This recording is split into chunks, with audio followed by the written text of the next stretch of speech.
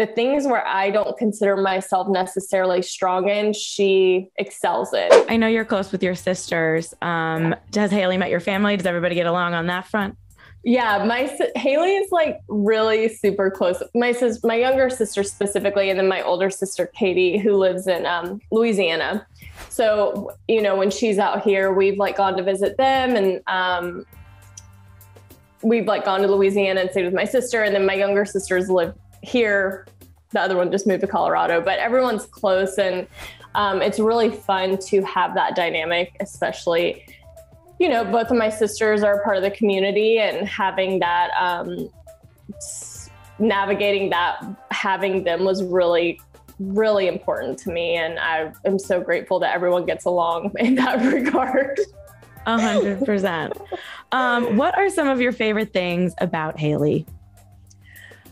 You know, I there's so many things I love about Hayley, and we're so different. So I've always thought I wanted someone who, you know, was like me. And um, I think sometimes in some regards that makes it easier, but I'm in the time that we've been together, I've learned how much I love our differences because the things where I don't consider myself necessarily strong in, she excels in. You know, she's so driven and she's so passionate and she's um, she's so communicative. And I have always really been I kind of shut down in the face of adversity or confrontation and uh, she's really inspired me to like learn how to communicate my feelings and and understanding that communicating your feelings isn't you being confrontational. It's just meeting someone in the middle and being able to express your needs. And um, i just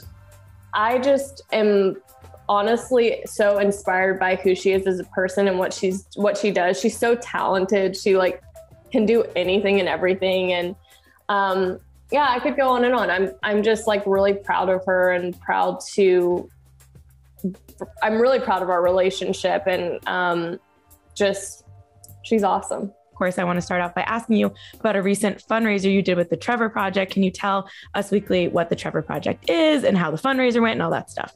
Yeah, so I um, flew out to New York for um, an event with Kiehl's and the Trevor Project. And I, you know, when I went public with my relationship, I kind of knew that all of a sudden I would be um, considered for these types of events, you know, like being part of the community. Hold on, my dog needs to sit on the desk with me. Oh. What she does. She's working, a working girl. She's working too. Yeah.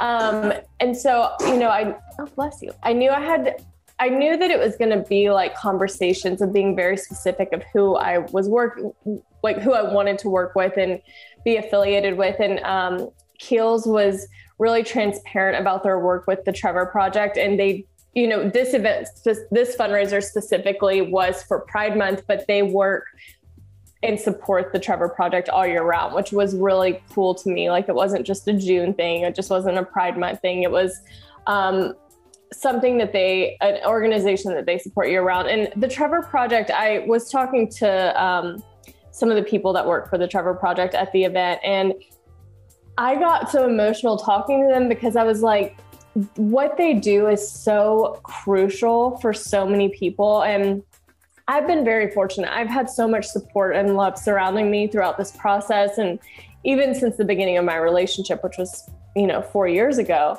And so many people don't have that support in their life. And the Trevor Project offers that to people who don't have it. And I was just, I was telling them like how necessary it is to have an organization like the Trevor Project that is a safe space for people. So, um, working with Kiehl's and doing that event was it was honestly such an honor for that to be my first official Pride event and being, you know, the host of the party and the fundraiser was really cool. And I just, I was just proud to be there, honestly. I was proud to be surrounded by so many people that are doing, that have been doing so much work in the community. And um, like being there to be a part of it and support it was really cool.